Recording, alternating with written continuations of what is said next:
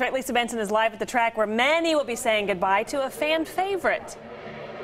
That is right. A lot of fans are saying their goodbyes as a lot of drivers are actually qualifying right now on the track, and you can see that going on on the Jumbotron right here behind me. The average age of a NASCAR driver is between 25 and 40 years old, but the driver I talked to today was 79, and he still has a need for speed. 79-year-old James Hylton started driving for NASCAR in 1966.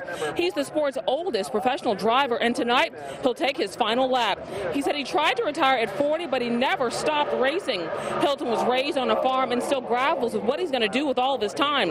This afternoon, he told me he plans to take six weeks off, but wants to keep his car, number 48, and his team going. He owns his own team and is open to managing a successor. I've never had a public job over two weeks. I'd be back racing. And racing's my life, and that's the hardest thing to, to deal with. I've been getting up every every morning 24-7 before daylight, work way after dark, drive all night to the race. I, I even towed the rig, I tow the race car to and from the racetrack.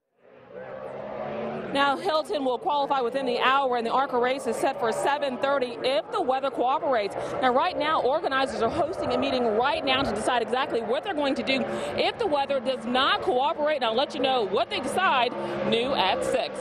Reporting live, Lisa Benson, 41 Action News.